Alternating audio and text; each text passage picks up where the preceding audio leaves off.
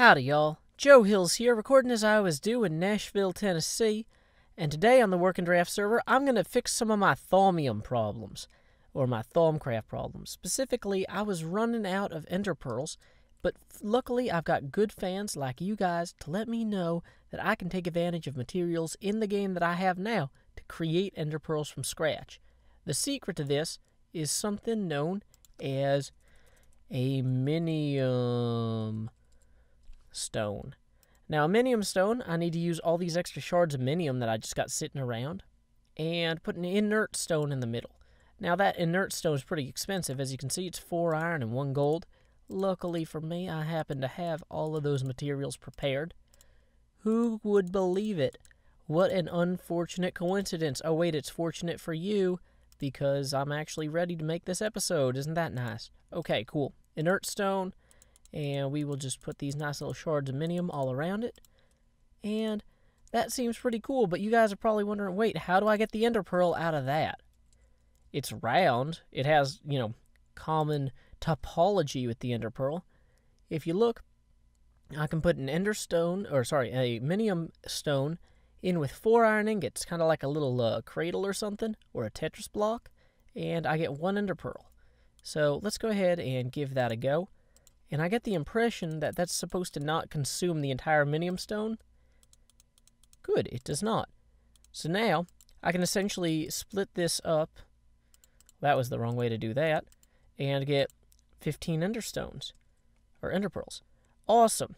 Now, in order to make the same stuff in Thaumcraft that I start really needing the ender pearls for, like the portable hole and this bore thing, I need an infusion altar. Um, oh, wait, I have that. What I need is I need a totem. Wait, is this not the thing with the totems? I really thought the arcane bore needed the totems. Oh, that's the basic aura manipulation thing. Well, too bad. I found some of them totems. Let's go attack them with a pick and take them. If they are still here. This is kind of a dangerous world. Why I'm on fire. Apparently people spontaneously catch fire here. So we've got this aura node thing, which is deadly. I already emptied this out, but I think I just need to take these, pick these totem things up with a normal pick, or a really good one. This is a particularly good Thaumcraft pick. These totems cannot be crafted in-game as of yet.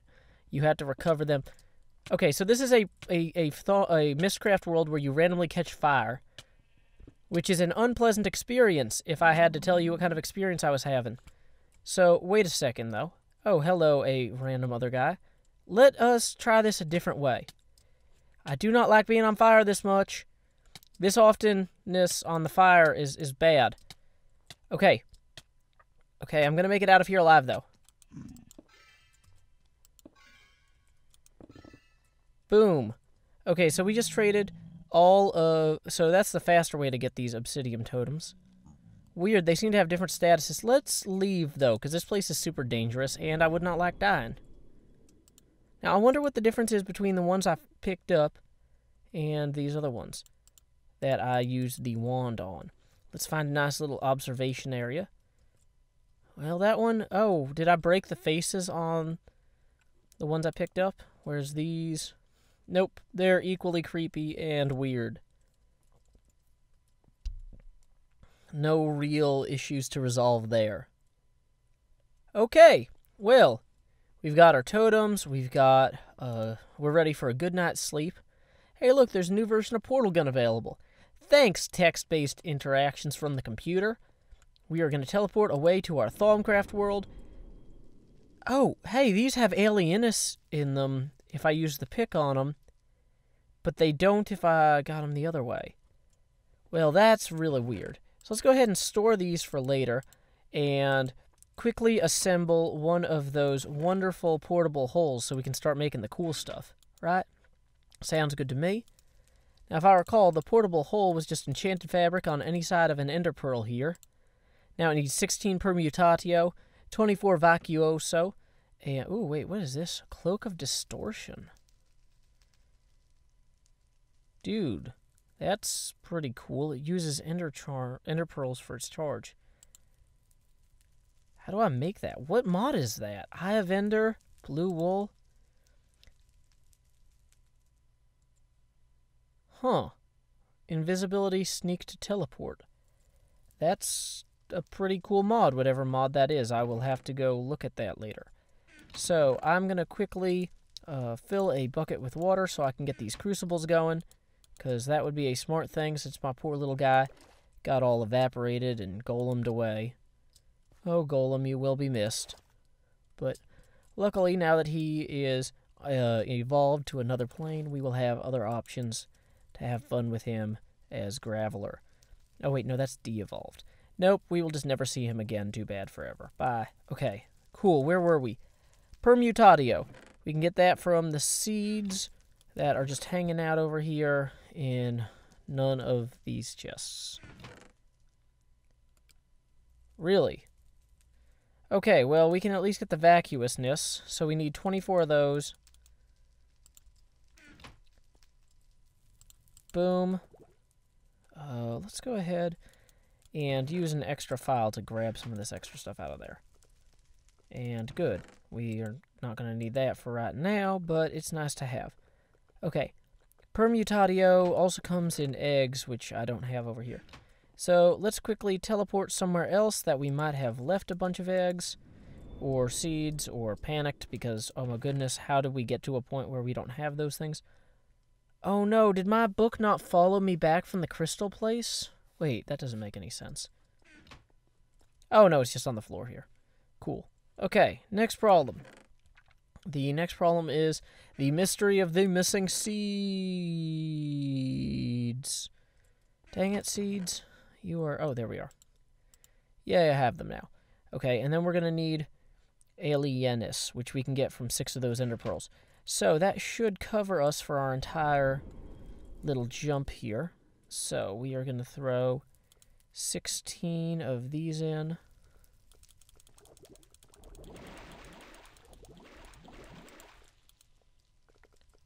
Dang it, some of them didn't go in. Okay, four of them didn't go in. Now we also need, once again, 24 Alienus.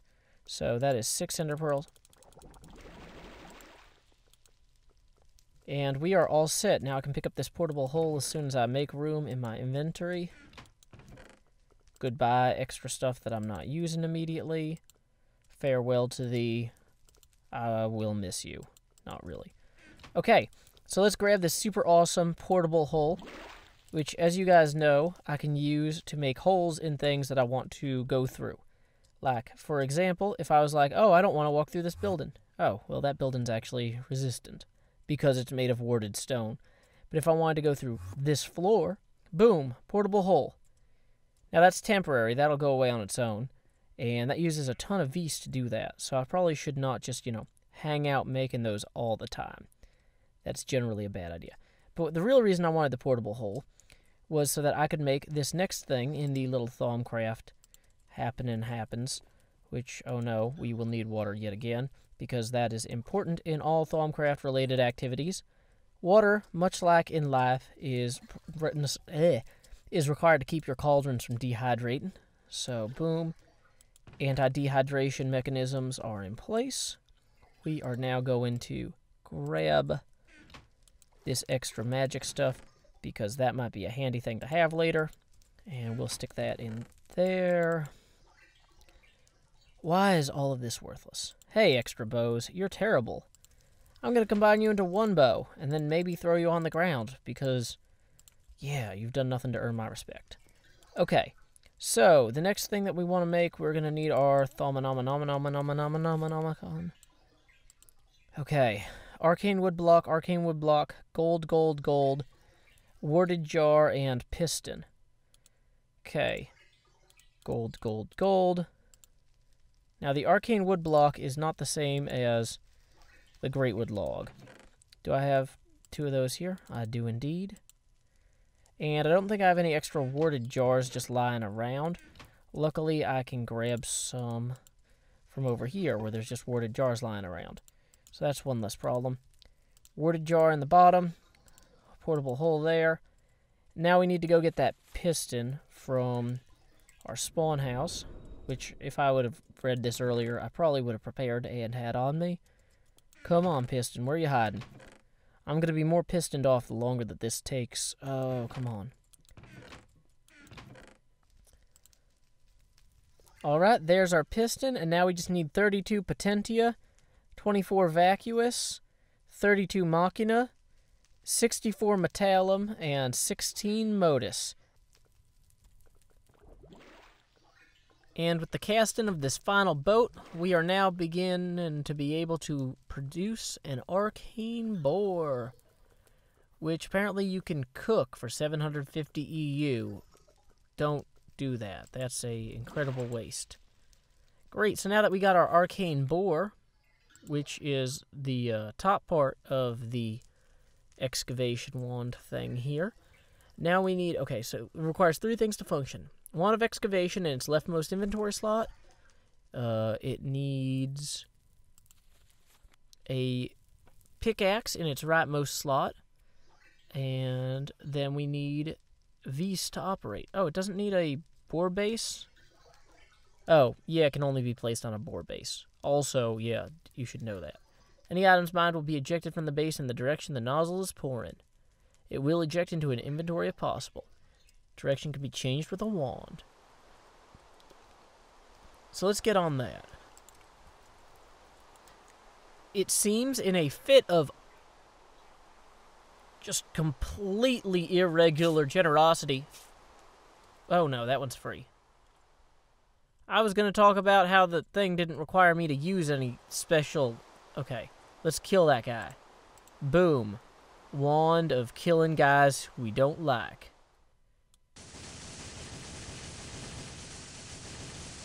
Hey, hey, hey. Come back. And then, yeah, boom. That's right. Joe Hills, glad to meet you. Okay, so in a fit of generosity, completely out of character, the mod maker has allowed us to just take this arcane bore base without making a million things in the infusion altar. So that's pretty cool. So now at this point what we want to do is we've got our kind of nearly broken wand of excavation. That's fine. I'm going to pick up pick up at home and uh, sleep, and then we are going to set this thing up. Time skip. Since our since our arcane bore base is going to require a lot of wonderful, wonderful, beautiful Vis that we don't want to waste, we are going to light up a little bit of this little area here. Luckily, wastelands do not get rained on, so we can, you know, record without having to hear all that just by moving further into the wasteland here. We're also going to add a little bit of light around here so mobs don't spawn all willy-nilly while we are trying to go about our business of creating the best new mining corporation powered by magic on the Working Draft server. Yes, sirree, you got to be proud of your work. Got to be darn proud. Okay, so the way I understand it, I got to mount this on something. So let's go ahead and build a mountain thing here. Now there's our nozzle. So, and the nozzle has to face an inventory, which might also have to be on something. So that now faces that. Now the bore itself, we're going to place... Oh, do I have to actually dig underneath it to get down there? Do I have to attach that? There we go. Oh. I do not want to get shot by that thing. Okay, so we're going to put an efficiency 4 sapphire pickaxe in there for uh, speed plus 4. And we are going to add a Wand of Excavation with Treasure 2 and Fortune 2. I guess that's what that does. Okay. How, how does this turn on?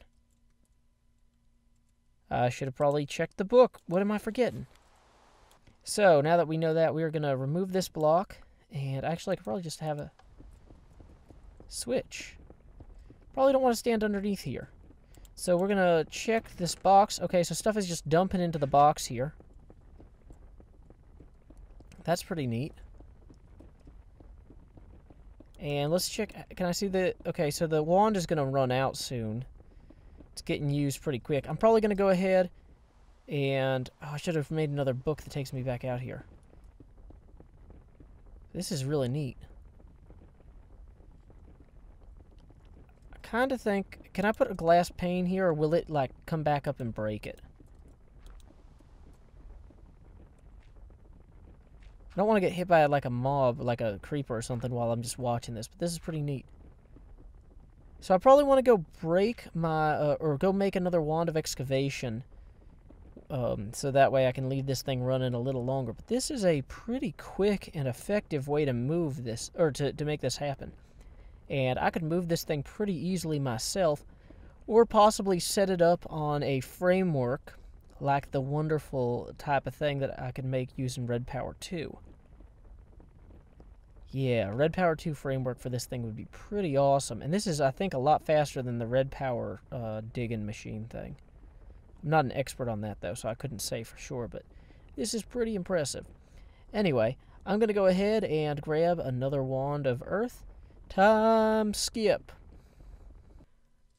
I'm very, very thrilled with the excellent lighting job I did here. Just look at this. It's wonderful. It's, it's perfect. This is, nobody could want better than this. No mobs will ever assault me, except from this side over here, where it's all dark. Wonderful. Let's maybe do something about that as well. Because, yeah, wow, this is super hazardous. Inconveniently unlit. Terrifyingly dark. Probably should have used a better word for dark there, like terrifyingly unilluminated. What a horrifying sight. A vast open field of possibilities. Monsters pressing themselves into our reality. Okay, whatever. Let's go to this thing. Take this one out. If we put the Thaumium one in there, it gets Silk Touch, but it, I don't think the Repair or the Unbreaking are going to count. That gives us a speed boost. So let's put our Treasure Wand back in there.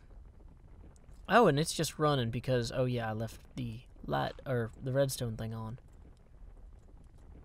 So this thing is draining Vis pretty quickly, but like, it's not gonna, you know, burn it out, hopefully. Oh, this is a case, this is why we have that Vis capacitor thing. Because now I'll be able to use that to offset massive amounts of energy that I waste using this drill. That's pretty cool. Amber dull shards. Oh, that's good too, because any sort of magical thing, like with dull shards or whatever, having the fortune pick will give me bonuses. So it's not just diamonds, it'll be redstone and other stuff too. Now, if I put in Silk Touch, can I get Silk Touch and Fortune? I think maybe. So let's go ahead and trade this out. Oh, it does give me Silk Touch. Yeah, well, I guess I knew that, though. So now my speed has dropped a little bit. But that just still looks really cool. I'm pretty happy with how this uh, goes through here. So we'll just empty out some of these blocks that, you know, we don't really care if it has room for. Making sure it has room to pick up the cool stuff. Okay, now I'm getting stone from Silk Touch. Oh! I wonder if it's going to Silk Touch Redstone or if it's going to Fortune it. Same thing for the um, for the diamonds. I guess either way, I'd get what I wanted at the end because I could, you know, run that through. Wonder how deep this is. Uh, Micah's jetpack's pretty decent. We're gonna just hop down here real quick. Wow, this is uh pretty deep. We are already down at so it's kind of widening it as it goes, but like the central shaft here is these two kind of equal sign looking things. This runs down to level 13. That's fairly impressive for something that hasn't been running for very long. I'm quite fond of this machine. This mechanism is indeed a beautiful sight that will make a great addition to my technology. I would love to be able to make more stuff quicker in game, and this is going to let me do it you know, and only costing a few earth shards and a pick every now and again is not terrible. So, anyway, I'm going to let this run, but this is just so cool. Okay, well, it's, it's using the Silk Touch on the uranium, but I don't know if you can get the Vis shards with Silk Touch anyway, so maybe that's uh, a different thing. Oh, I love how cool it is. This is definitely the coolest looking of the quarries that I've seen that you can make in wonderful, fantastic Feed the Beast. I'm so excited about meeting the Feed the Beast team too when I get to PAX East, so definitely keep an eye out for me there, guys. That will be a blast. Oh, sidebar, the repair enchantment actually does work on this.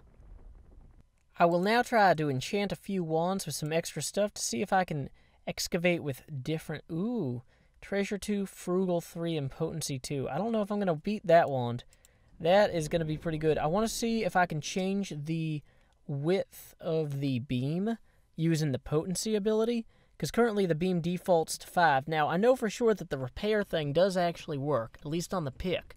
So, if I could get a really awesome self-repairing pick and a really awesome self-repairing uh, wand, I would really have a kit that I could just use indefinitely. So we're going to take that Treasure 2 one out. Currently width is 5, speed is plus 0. So we now get Fortune 2, width of 9, speed of 0. So that extra width is going to be super helpful, and I'm eventually going to have to build some sort of real platform here. But let's just hop on down to the bottom, and hopefully we won't regret that decision. Okay, it looks like we have cut through some Nikolite and some Diamonds, ooh, maybe. So why don't we go and find out if it did Silk Touch or uh, special... Okay, so it did Silk Touch the Diamonds, the Amber. That's good to know. So I can just Fortune 3 the uh, Diamonds, or Fortune 4 maybe. Do, does that go up to 4? I'll find out. But look, see, it gets my redstone ore so I can feed that into a pulverizer, get the maximum amount of dust. This is a pretty awesome machine, and I look forward to using it a lot in the future. Anyway, until next time, y'all, this is Joe Hills from Nashville, Tennessee. Keep adventuring.